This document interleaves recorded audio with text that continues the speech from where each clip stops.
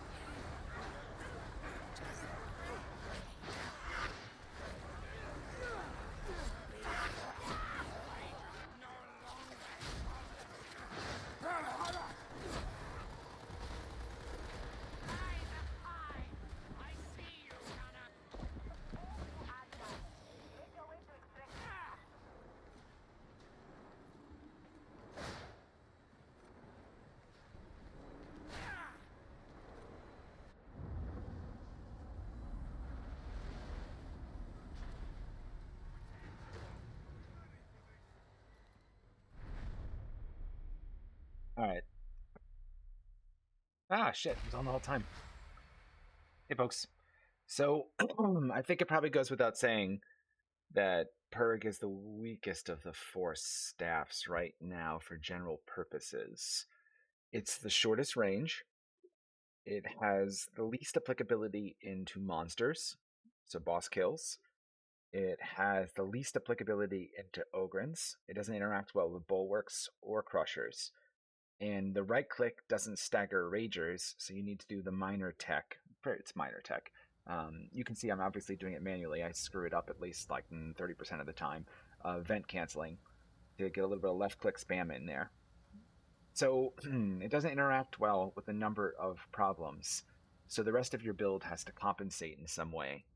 Um, it's also reasonable into gunners, but you need to be good with your move tech. So I think the coolest part of it, though, is since you're doing a stream and you can afford to get a bit of crit chance 25 here, 7 naturally, another 5 here you can get enough crit chance that if you're hitting two targets, it's basically guaranteed that you're going to chain proc your range immunity. So there's like this really fun play style of like bouncing from group to group against guns and just spamming right click. I'm sure you noticed that right click also has good suppression values, so it's solid into Reapers. Um, if you can close. So, what are the problems we need to solve? We need to solve the fact that we don't really have a great answer into mass Ogryns. We have to solve the fact that we don't have boss damage really on our range weapon. And honestly, none of the staffs do, uh, of, of appreciable note. So, that has to be solved with like basically every Psyker build. So, for boss kill, I usually bring this knife pretty optimized for boss damage, as you can tell. It's nice to get max stacks um, a flame on the boss as well if you can afford it, especially if you can pop a red. Oh, I'm so sorry. I wonder if all everything I just said was so quiet because my mic was out of the way. Mm. Okay, for those who could hear it, I'm going to assume that you couldn't. So sorry for the duplication. You can just jump forward if you'd like. So again, one more time. The Purrg build is probably the weakest of the staff builds. It has some definite strengths. It's got the best of the boss damages of the staves, so that's a nice little bonus to have. It melts pretty hard, and with synergy with enough crit chance and this guy, you can have range immunity as long as you're right clicking, which just feels really cool. So you can kind of bounce forward from group to group, just melting groups and ignoring guns along the way, as long as you move tech well. It sucks against crushers. It needs help versus bulwarks to open them. Um, and it's just like it's okay into ragers and maulers, but you have to do the minor mo- uh, tech of vent cancel, left click vent cancel, left click vent cancel, which I'm okay with. I messed it up a bunch of times in this run, but I mean I'm serviceably okay with it. So we have to solve those problems. The knife helps solve the boss damage, and it helps you get from target to target so you can do your burn down while being immune to range. Um, I like to bring focus channeling along with the warp nexus because that way, if I'm bouncing from target to target with right click, if I screw up my move tech a little bit and get hit by one bullet, I'm not insta dead. Instead, I just ignore it because secondary target uh, attack cannot be interrupted just means you're stun immune while you're right clicking. Standard, absolutely standard trinkets. Um, my build here is pretty standard for most of the stuff I take. Like I'm pretty much always taking this um, and always taking this.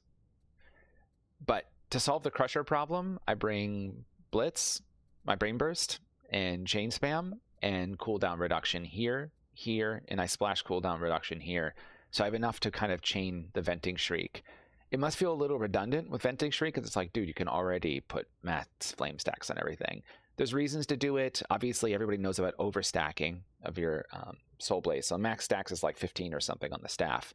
So this source right here lets you go over stacking, over max, and this lets you go over max, so you can get some some big burn. But really, if you put 15 stacks on something, it's already going to die. So in a true solo context, it's like a win more kind of situation. And for quads, like none of this matters because you're going to get out DPSed by things that do the damage now instead of back ended damage. So like I, I don't know. Anyways, um, so you have the head pop spam with again the minor attack of uh, QQ cancel to get enough DPS out of it. It also helps you solve the fact that you have no rail range to speak of versus uh, special spam, and can help you pick off gunners or reapers where closing the distance is not really service uh, feasible because they've got like some sort of surround angle on you. So sprint teching isn't going to really help you very much. Anyways, um, that pretty much completes the builds that I play on Psyker. So these will all get posted.